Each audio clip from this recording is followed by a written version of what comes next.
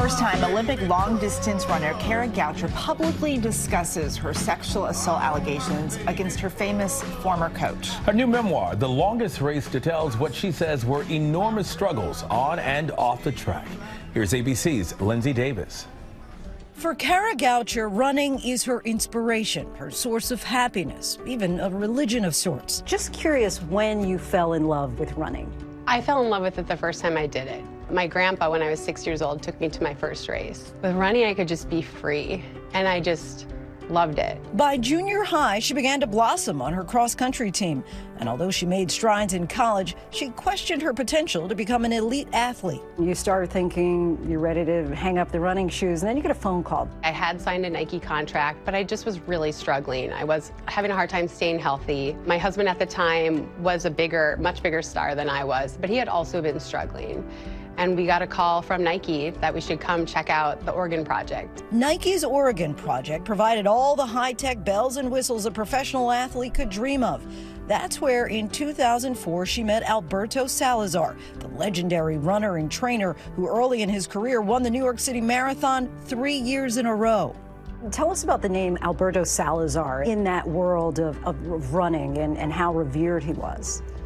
Alberto Salazar was very, very powerful. He was very charismatic. He talked to you straight to your face. He really roped you in, but he was a legend, and he still is a legend of the sport. Kara became the first woman on Nike's renowned Oregon Project running team and under the close supervision of Salazar, she excelled as a world class distance runner, even making it to the Olympic finals twice.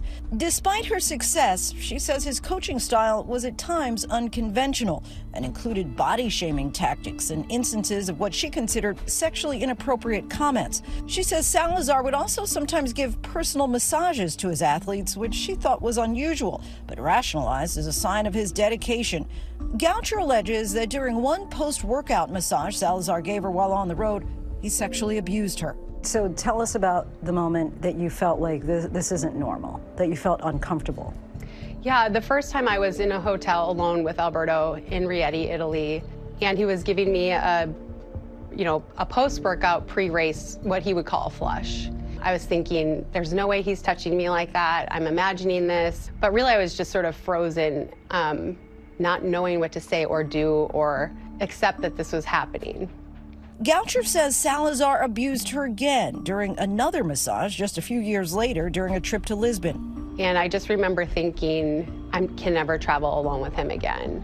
I can't put myself in this situation. At the time, Goucher says she never discussed the alleged sexual abuse, not even with her husband. She says it was years later, after leaving the Oregon Project and while testifying as part of a U.S. anti doping agency investigation connected to Salazar, that she first mentioned the alleged assaults. In 2019, that agency suspended Salazar for four years for doping violations, which he has denied.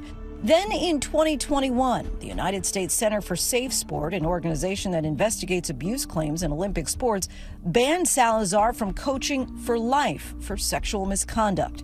Safe Sport did not identify the accuser, but Goucher now says her testimony for Safe Sport about Salazar's alleged abuse was the basis for that lifetime ban. Salazar told ABC News any claim that Miss Goucher was sexually assaulted by me is categorically untrue.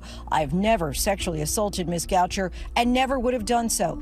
The accusation is deeply hurtful and abhorrent and contrary to my fundamental belief as a husband, father, and deeply devout Catholic. In a statement, Nike said in part, sexual misconduct has no place in sports or society and is something we stand vehemently against. Alberto is no longer a contracted coach, and we shuttered the Oregon Project several years ago. Mr. Salazar did not engage in any doping of his athletes, and not a single Oregon Project athlete was found to have violated the rules. Goucher says Salazar wasn't her only difficult experience while working for Nike. At a certain point, you're pregnant, you're still making a lot of appearances, but they stop payments on their checks to you. Why was that? You know, they had just announced my pregnancy on the front page of the sports section of the New York Times, and then I found out that I hadn't been suspended without pay because of my medical condition. Pregnancy is not written in the athlete contracts. That's something we've fought for over the last few years. Goucher says she returned to training just two weeks after her son Colton was born and and ran the Boston Marathon six months after giving birth. Kara Goucher had the heartbreaker here in 2009. Nike responded in part by saying they've standardized their approach to support their female athletes during pregnancy, adding that their new policy waives performance reductions for a total of 18 months.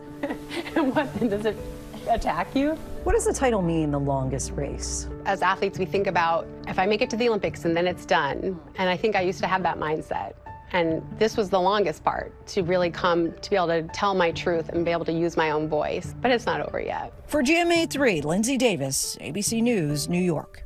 And again, our many thanks to Linsey Davis for the report. Well, hey there, GMA fans. Robin Roberts here. Thanks for checking out our YouTube channel. Lots of great stuff here. So go on, click the subscribe button right over right over here to get more of awesome videos and content from GMA every day, anytime. We thank you for watching, and we'll see you in the morning on GMA.